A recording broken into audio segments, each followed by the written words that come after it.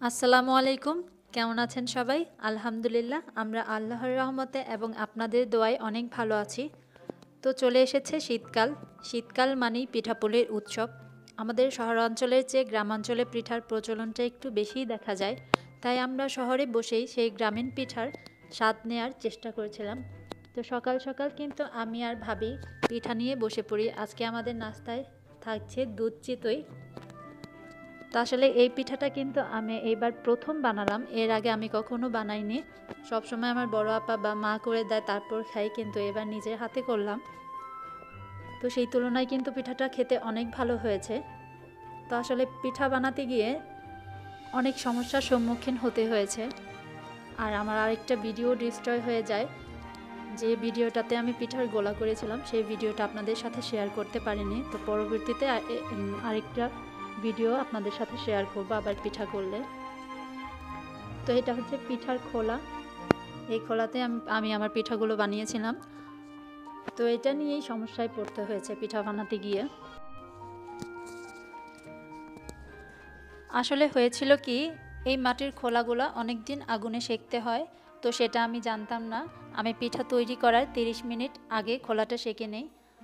আর যার জন্যই চার পাঁচটা পিঠা হতে না হতেই আমার খোলাটা ফেটে যায়। তো সেজন্যই আমাকে সমস্যায় পড়তে হয়েছিল। তো খোলাটা ফেটে যাওয়ায় আমি খুব চিন্তায় পড়ে গিয়েছিলাম যে বাকি পিঠাগুলো কীভাবে করব।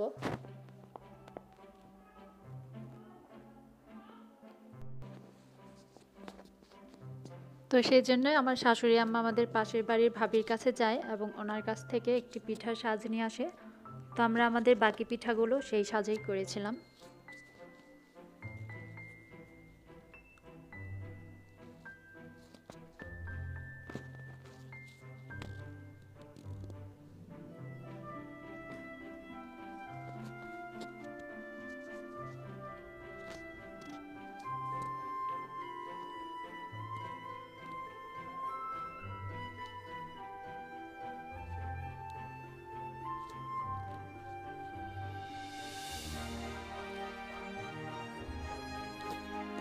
তো আমার খোলাটা নষ্ট হওয়ার কারণে কিন্তু পিঠাগুলো তৈরি করতে অনেক সময় লেগেছিল। আমি রাত্রে নয়টা থেকে শুরু করেছিলাম, তো হঠাৎ করে খোলাটা ভেঙে যায়। তারপরে পিঠাগুলো বানানো অনেকক্ষণ বন্ধ ছিল। তো তো রাত প্রায় বারোটার দিকে পিঠাগুলো বানানো শেষ হয়। পিঠাগুলো কিন্তু আমি, আম্মা আর ভাবি তিনজনে মিলেই বানিয়েছিলাম। তো যারা আমার চ্যানেলে নতুন এবং আমার চ্যানেলটি এখনও যারা সাবস্ক্রাইব করেননি, তারা প্লিজ আমার চ্যানেলটিকে সাবস্ক্রাইব করবেন এবং পাশে থাকে বেল আইকনটি ক্লিক করে দেবেন। আর যারা আমার চ্যানেলটিকে সাবস্ক্রাইব করেছেন, তাদেরকে অসংখ্য ধন্যবাদ। আশা করি এভাবেই আমার পাশে থাকবেন।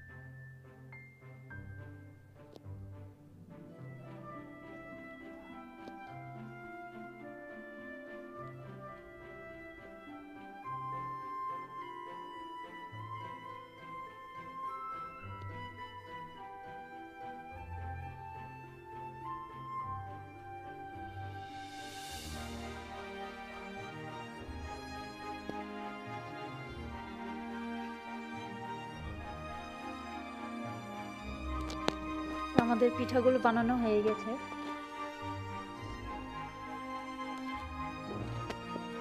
এগুলো হচ্ছে খোলাই তৈরি পিঠা। আর এগুলা সাজে করেছিলাম।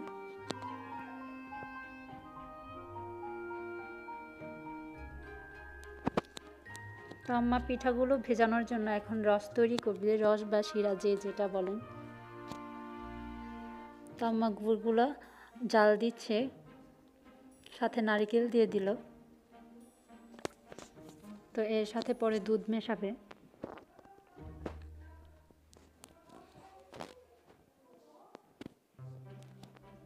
তো এই যে রসটাও তৈরি করা শেষ।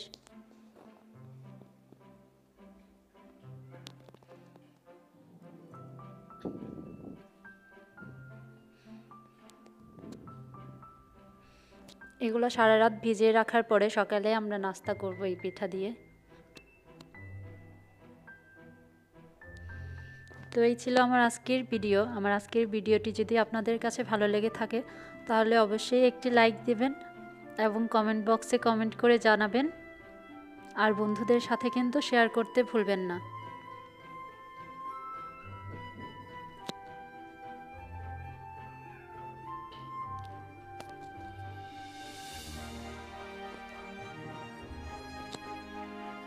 তো আজকে কিন্তু এই পর্যন্তই। সকলে ভালো থাকবেন। আমার জন্য, আমার পরিবারের জন্য দোয়া করবেন।